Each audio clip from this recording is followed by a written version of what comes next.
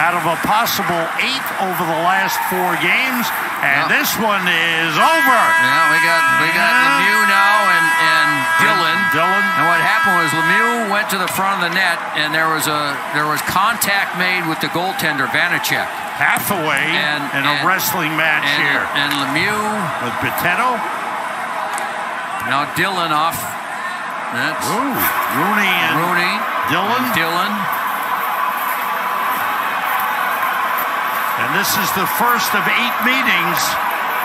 So uh, this will be in the memory books of the players.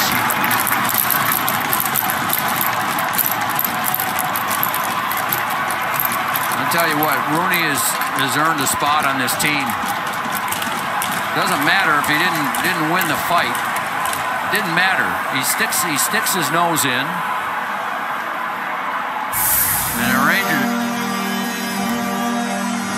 Goaltender got the stick up on Lemieux. Yeah, and and then here comes Dillon. Thought that was enough reason for it. Uh, Lemieux uh, tripped up the goaltender with his left coming it- by. Right. That got it all going. But back to the big story for the Rangers.